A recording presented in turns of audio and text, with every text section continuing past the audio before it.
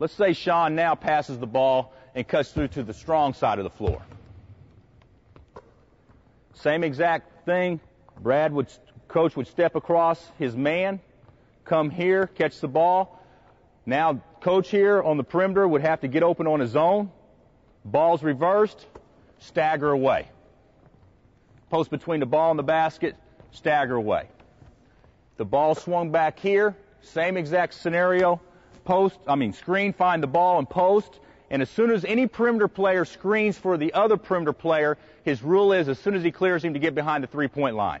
So as soon as Randy screened and he cleared him, it's a sprint to get right back here behind the three point line. Okay?